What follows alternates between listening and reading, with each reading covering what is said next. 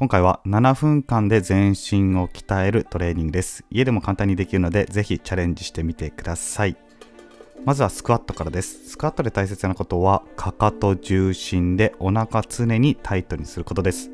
上半身を1センチ上に伸ばした状態、姿勢を整えた状態でお腹に力を入れて、その状態をキープしてスクワットしていきます。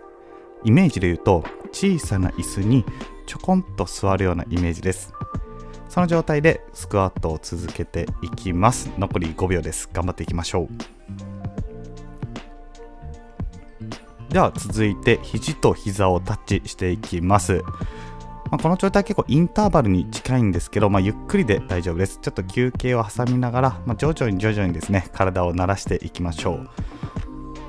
でこの時に大切なことはやっぱりお腹に力を入れて上半身しっかりとぶれないようにしていくことです。バランスを取りながら上手に体幹を意識してトレーニングしていきましょう。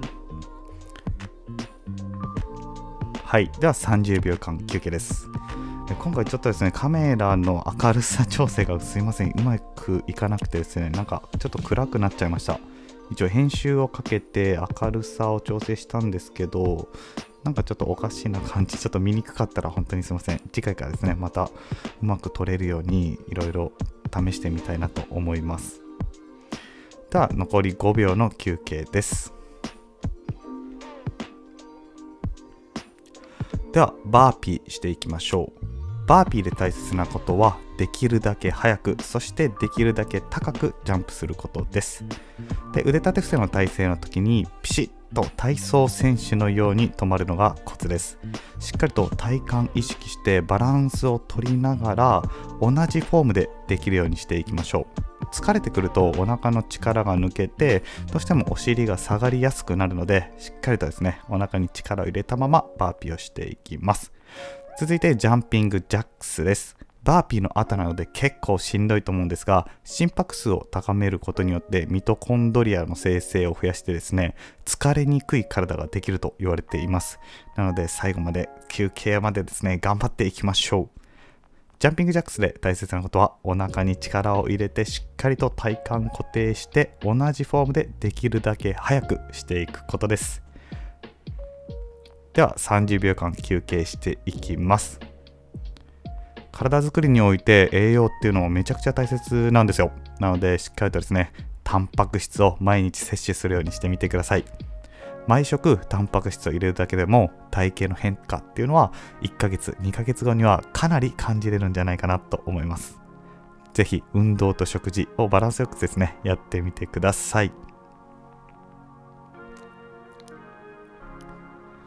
はい。それではバックランジしていきます。バックランジで大切なことはできるだけ足を後ろに遠くに遠くに出していって膝が前に出てる方の膝が前に出ないようにすることです。でかかと重心で上半身しっかりと力を入れてバランスを取りながら同じフォームでしていきます。お尻太もも裏の筋肉を使っていきます。なのでしっかりとかかと重心で膝が前に出ないように調整していきましょう。ではそのままバックランジからキック蹴り上げていきます。この時に腸腰筋と言われる筋肉を一緒に鍛えることができるので、まあ、姿勢改善であるとか体脂肪燃焼効果もあるのでこの時できるだけ高く蹴り上げていけるようにしましょう。でこの動作は結構バランスを取るのが難しいのでしっかりとお腹に力を入れて両手を使ってバランスを崩れないように毎回同じフォームでトレーニングできるようにしてみましょう。では30秒間休憩です。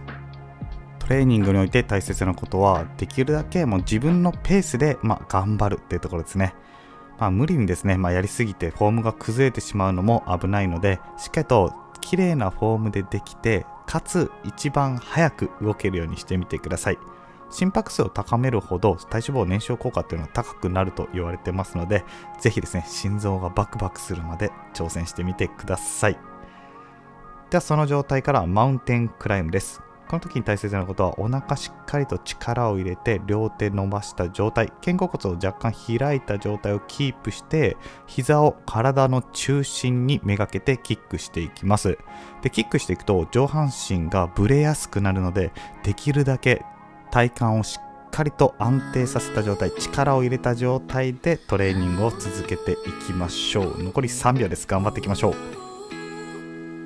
ではこのままハイプランクに行きます。マウンテンクライムの後なので結構きついと思うんですができるだけお腹タイトにして腕伸ばしきった状態肩甲骨を若干開いた状態をキープしてお腹で支えていきます。でこの時に足もできる限り伸ばせるだけ伸ばしていってください。でお尻もしっかりタイトにして体操選手のようにピタッと止まれるように頑張っていきましょう。でこの時に呼吸を忘れないようにしてください。しっかりと呼吸していきます。では30秒間休憩です。もしですね今回のトレーニングでちょっと物足りないなっていうようであれば再生リストのところにですね田畑式トレーニング HIIT トレーニングと分けてるのでよかったらそちらの方も利用してみてください。多くやる分には特に問題はありませんのでぜひですねできる限り多くやってみてください。いろいろなレベルがあるのでご自身に合ったレベルの動画をお使いください。では最後のトレーニング頑張っていきましょう。もも上げです。この時になるべく体幹ぶれないようにしてできるだけ高くそして速く上げれるようにしてみましょう。しっかりと上半身がぶれないようにお腹力を入れたままもも上げしていきます。できるだけ同じフォームで綺麗に行っていきましょう。で着地するときにつま先で着地するのがポイントです。ドタドタドタと着地しないように静かにやってみてください。ではそのままジャンピングジャックです。これで最後なのでできるだけできるだけ心拍数を高めていきましょう。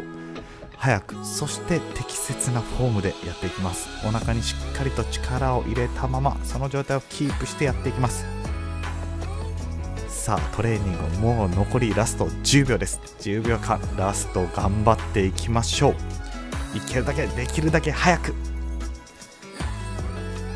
さあもう終了です。お疲れ様でした。今回も7分間めちゃめちゃいいトレーニングができたんじゃないでしょうか。こんな感じでフィットネスメイトではトレーニング動画を投稿してますのでもしよかったらチャンネル登録高評価もお願いします。